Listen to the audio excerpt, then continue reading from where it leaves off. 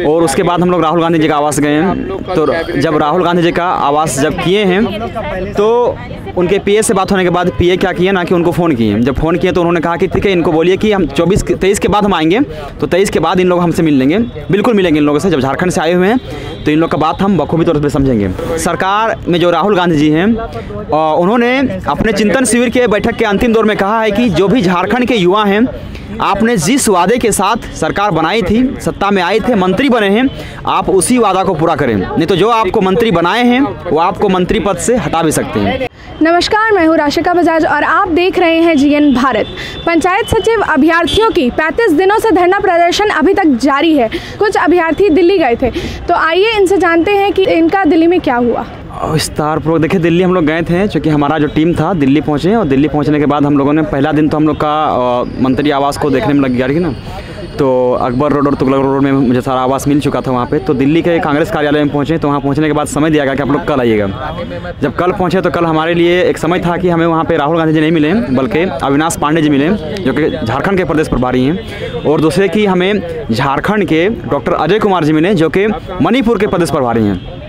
उन्होंने हमें आश्वस्त किया कि हम आपकी बातों को झारखंड में बखूबी तौर पर उतारेंगे और काफ़ी अच्छे तरीके से हम अपना चिंतन शिविर में आपकी नियुक्ति करवाने की मांग करेंगे। और उसके बाद हम लोग राहुल गांधी जी का आवास गए हैं। तो जब राहुल गांधी जी का आवास जब किए हैं तो उनके पीए से बात होने के बाद पीए क्या किए ना कि उनको फ़ोन किए। जब फ़ोन किए तो उन्होंने कहा कि ठीक है इनको बोलिए कि हम चौबीस तेईस के बाद हम आएँगे। तो तेईस के बाद इन लोग हमसे मिल लेंगे। बिल्कुल मिलेंगे इन लोगों से। जब झारखंड से आए हुए हैं तो इन लोग का बात हम बखूबी तौर पर समझेंगे। और साथ ही साथ हम लोगों ने माननीय कन्हैया कुमार जी से मिले, जो कि स्टार प्रचारक अभी पार्टी के तो उन्होंने भी कहा है कि हम अभी व्यस्त मेरा शेड्यूल है तो हम आप लोग को चौबीस तारीख के बाद ही मिलेंगे तो थोड़ा सा समय दीजिए। तो हमें समय मिलने का समय दिया जा रहा है। हम लोग मिल भी लेंगे, लेकिन चूँकि अभी कैबिनेट की बैठक है और हमें एक विशाल मानव श्रृंखला का निर्माण करना है और ह्यूमन चैन बनाने के लिए हम लोग वापस आए हुए हैं। ह्यूमन चैन बनाने के बाद मैं फिर वापस लौट जाऊँगा।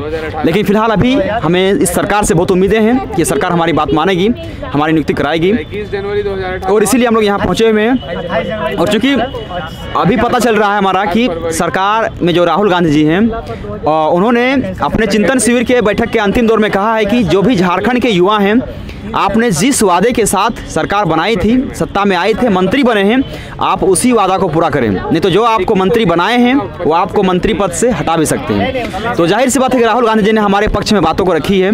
हमें काफ़ी उम्मीदें हैं काफ़ी आशाएँ हैं जिस आशा के साथ उनके पास गए थे हमें पॉजिटिव आश्वासन मिला है वहाँ से।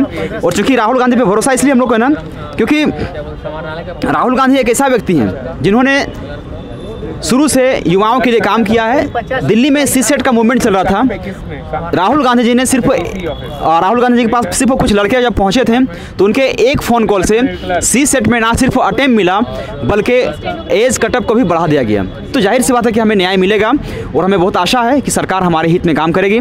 और 24 तारीख की कैबिनेट की बैठक में माननीय आलमगीर साहब और माननीय रामेश्वर उरांव जी ने स्पष्ट रूप से कह दिया है कि हम आपकी नियुक्ति को लेकर के हमने पहले से ही प्रपोजल तैयार कर रखा है। जब प्रस्ताव बन चुकी है तो फिर आप लोग घबराइए मत, आपकी नियुक्ति हम कराएँगे। कल हम लोग मानव श्रृंखला बनाएँगे और विशाल मानव श्रृंखला बनेगा। बहुत पिछला बार हम लोगों ने केवल 1200 का एक झांकी दिखाया था। अभी पूरा आंदोलन अभी बाकी है हमारा और कल ह्यूमन चिन्ह बनाएँगे और बहुत विशाल ह्यूमन चिन्ह बनेगा।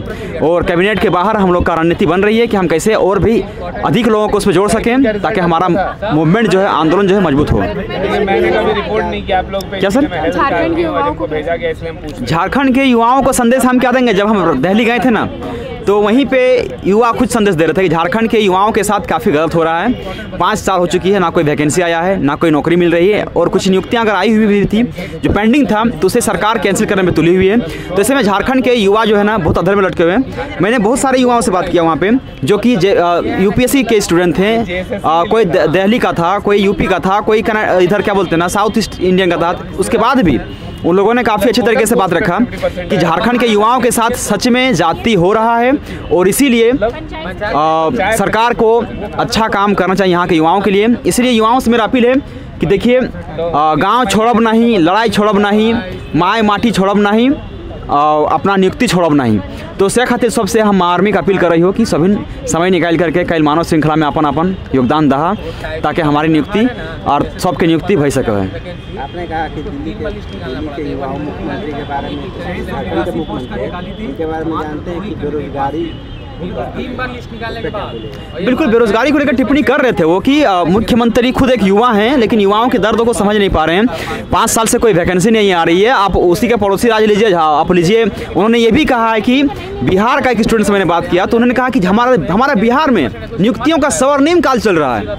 मतलब नियुक्तियाँ ही नियुक्तियाँ हो रही है, और झारखंड को देखिए कैसा हो रहा है। यूपी का मैंने बात किया तो उन्होंने भी योगी आदित्यनाथ के बारे में काफ़ी तारीफें की, नीतीश कुमार के बारे में काफ़ी तारीफें की।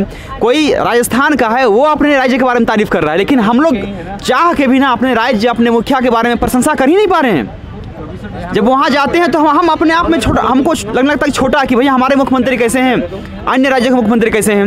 लेकिन यहाँ पे मुख्यमंत्री जी गलत नहीं है। वो सही हैं क्योंकि मैं जानता हूँ कि आदिवासी जो लोग होते हैं ना बहुत सुलझे हुए होते हैं और हर किसी के बारे में अच्छे सोचते हैं। लेकिन बीच के जो ये जो बिचौलिए हैं जो सचिव लोग हैं ना कहीं ना कहीं उनको बरकरा के रखते हैं और मुख्यमंत्री व्यक्तिगत रूप से अच्छे व्यक्ति हैं। इसलिए मैं उनसे अनुरोध करूँगा कि आप अपने बड़प्पन का एक पहचान दीजिए। आप बहुत अच्छे व्यक्ति हैं अपने सभ्यता का पहचान दीजिए। आपसे हम यही उम्मीद करते हैं। तो आप लोगों ने सुना कि ये लोग दिल्ली गए थे और दिल्ली में क्या हुआ? आप लोगों ने विस्तार पूर्वक सुना। दिल्ली में राहुल गांधी से तो मुलाकात नहीं हो पाई, लेकिन ये लोग अविनाश पांडे से ज़रूर मिले। उन्होंने भी आश्वासन दिया। और कल इन्होंने बड़ी संख्या में मानव श्रृंखला बनाने की भी बात कही। रांची से सहयोगी सोनू पांडे के साथ मैं राशिका बजाज, जीएन भारत। अपने राज्य से जुड़ी हर ताज़ा खबरों के लिए आप हमें सब्सक्राइब करें, साथ ही आइकन बटन दबाना ना भूलें।